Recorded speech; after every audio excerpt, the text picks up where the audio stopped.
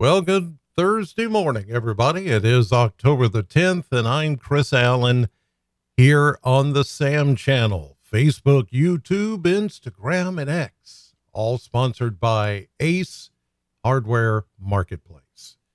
Uh, wow. Hurricane Milton, pretty incredible storm.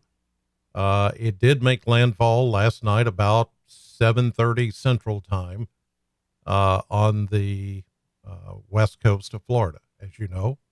Uh, and uh, it was a category three as it landed, or the eye wall made its uh, appearance. And of course, this morning, waking up to see the destruction and the result of that. Uh, and uh, it's pretty significant as far as the amount of water. We they didn't get the awfully high uh, storm surges that were predicted. Some were predicted to be 15 to 20 feet in some cases. That did not occur, especially in the Tampa Bay area, which was a huge concern. Uh, but uh, there's still a lot of wind, still a lot of rain going on. I'll put the, there's the remnant low pressure in motion. It's going to gain uh, it's going to lose strength as it gains momentum and moves out into the Atlantic. Uh, taking a look at uh, a couple of places like Cedar Key, uh, we're seeing, you know, some cloudy skies, but the rain for the most part has stopped. You go down to I 75 and traffic is flowing. Things are looking a little bit better. Um, there is Massaryk Town. I believe that's what that's called. Uh, pretty quiet there as most people are gone. Let's check another interstate. Let's see. Let me go to this one. Uh, State Route 570. Now we're getting closer to the Orlando area. Still rainy and windy at times. There's I 4 uh, that cuts through the center part of Florida. So there are some improving, or there is improving going on in those areas, uh, but the destruction is pretty serious. And uh, you'll, of course, when you watch some of the networks, you'll see that it is a serious time and lots of flooding, lots of problems. Uh, there's about 3 million without power now in the state of Florida. And even last night, when I was on television uh, doing the TV update on on Milton, you could see the power outages, and they were starting to go north, and then connecting with the power outages left over from Helene. That's I know it's pretty incredible. So you get you get the uh, storm outages from Milton connecting with the storm, the people that are still without power in the Carolinas from Hurricane Helene. It it's mind-boggling. So when you add it all up, we're talking about probably 4 million, maybe close to 5 that are that are without power. And who knows when, you know, some of the Carolinas are going to get their infrastructure back, their electricity, their water, uh, systems, uh, the um, roadways. Uh, it, it's just it's mind boggling. It really is. Uh, you see uh, right there, that's Jim Cantore, who's on the Weather Channel. Of course, he's been right there in the thick of it. I got a text message. Um, well, I sent I sent Jim a text message last night because he was in the middle of all of this and I will show you just to just to show. Um, of course, it's not going to show his number, but but there there's you know Jim. Uh, there we go. Yeah, he says. I said, uh, yeah, I would like to. I was telling him, I said, I'd like to write out one of these in my lifetime just to experience it. And he said, uh, it's an ass kicker coming. And uh, I said, I believe it.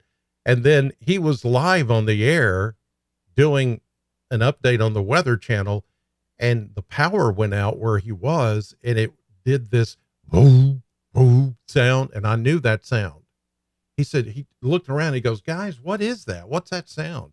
And so I wrote him and said, uh, "That noise is transformers arcing." And then he wrote, as you see there, that was incredible. And uh, so, yes, I have Jim Cantore's number. Not not that big of a deal. I mean, he and I have known each other for years and years, and of course, he was here uh, back a few months ago. But you know, and I told him I was praying for his safety and the rest of the crew that was out there, and you know, that that happens when you get somebody you appreciate and you look up to, and you, you have a friendship with. You want them to be okay, especially uh, when they're out there covering this type of weather. Uh, so he is okay this morning, and as you see there, he's uh, he's covering it. He's right there. I don't know if he's had any sleep or not, but uh, anyway, back here at home, here at eight o'clock in the morning, sunshine. Nothing changes with our weather. It is not going to change at all over the next few days. It's going to stay this nice, but we do see one change, and that's going to be in temperature, which I'll talk about in just a moment. All right, right now, let's take a look at radar. And of course, there's nothing to show you on radar, but if you look to the east, notice these series. Yep, that West Virginia. Then freeze warnings, I think, or freeze watch in other parts of West Virginia, uh, on down toward uh, Southern Virginia, frost advisories. Uh, there's a freeze warning. Snowshoe, West Virginia. Well, yeah, they're going to get down into the 30s. And I think our time or our turn is coming next week. I think by either Monday night or Tuesday night, we're going to have our turn with the first frost of the season. I really, really think that's going to happen. It is going to be, of course, the first frost of this fall season of 2024, uh, but it's coming. Uh, this morning, we're feeling a little bit of that chill in the air again. Here's a look at Kentucky mesonet temperatures from all the sensors across the Commonwealth. Uh, here just after 8 a.m. Central Time, you see some low 40s out to the north and east up there around Ashland. And then you see upper 40s to low 50s closer you get to Bowling Green and southern Kentucky. And so it's a very comfortable morning. Uh, moisture, eh, there's none, hardly none in the air. Very little, upper 40s, low 50 degree dew points, which means it feels wonderful. Winds calm pretty much across all of southern Kentucky. And like I said, there's there's just not going to be any change to our weather. Uh, we're going to start to get probably a little abnormally dry if we continue uh, to go without rain. But as I've mentioned before, we're not going to see any effects at all, at all from Milton. Milton is already going out into the Atlantic east, far away from us. So we won't get any clouds, we won't get any wind, and we certainly won't get any rain from Milton like we did with Helene. That went a different direction and it came our direction, and unfortunately, uh, wreaked havoc through the Carolinas. Well, let's see what is coming. This is the model blender. And as you can see, the next few days will be uh, about where we should be mid to upper 70s, maybe low 80s. Then we have a cold front that is going to come through Sunday night, but all it will do is change our wind direction and usher in some cooler, chillier air, even. I'll use the word chilly for this one for the first time this season. Look at those high temperatures next week. Low to mid 60s for high temperatures, and then 30s and 40s for low temperatures. And there you see, maybe Tuesday night, is when we get close to freezing. And I do think some of you will get close to freezing or hit it. And that means you're going to see your first frost of the season. It's just, it's going to happen, it appears. Then we do warm up a little bit into the low to mid 70s after that as we get into next weekend. But um, it's not going to be all that warm. I can tell you, it's going to feel like fall is supposed to feel. I can tell you that for sure as we head into next week. Taking a look at um, the surface map here, we'll see that high pressure is just going to sit over our area and just continue to give us the nice weather that we're experiencing and have experienced all week.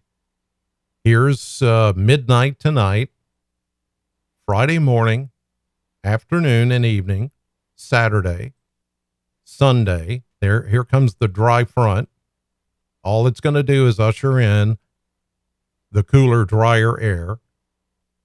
Monday, the front is past us, and now we're basking in those 60s during the day and 30s and near 40 at night. There's Tuesday, there's Wednesday, there's it, it, see no rain for a pretty much a whole nother week. Now, now it's going to get abnormally dry again, unless, unless we get another tropical system of some kind that wants to work in here and uh, bring us some rain. But right now, don't I don't really see much of anything occurring in that uh, regard. All right, you guys have a great Thursday. Thank you as always for watching. You can listen to me right now on the radio at SAM 100.7, and you can catch me later on your TV tonight, News 40 at 5, 6, and 10. God bless.